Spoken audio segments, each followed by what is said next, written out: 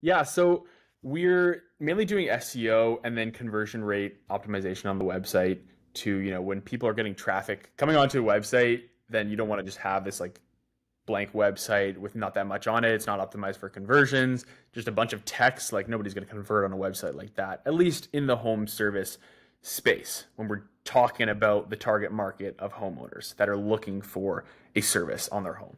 Um, we're doing that. We're doing Google Ads. We've dived a little bit into social media.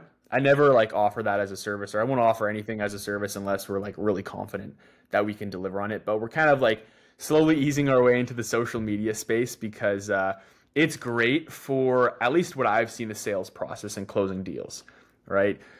With our clients, they don't get too many leads coming through their social media, but it's fantastic for increasing their you know perceived trust and authority in the, the mind of the prospect. So we're really doing work on the lead generation side and then the sales